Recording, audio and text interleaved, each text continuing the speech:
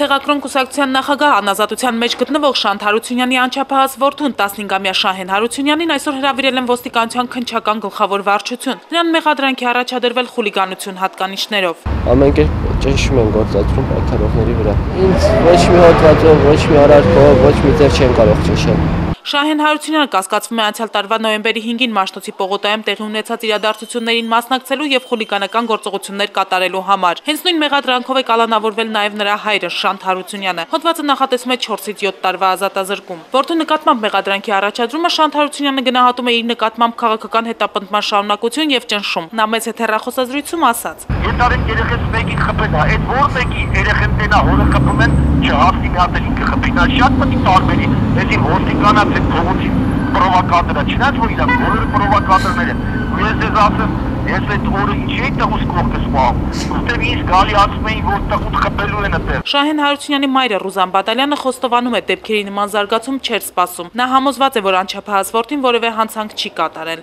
Սա ապօրինությունների վերջն է ուղղակի, ես խոսքեր չեմ գտնում։ Այսօր մեղադրանք ներկայացվելուց հետո Շահեն Հարությունյանը հանձնվել է մոր խնամքին։ Նրա նկատմամբ որպես խափանման միջոց է ընտրվել քաղաքից չբացակայելու մասին ստորագրությունը։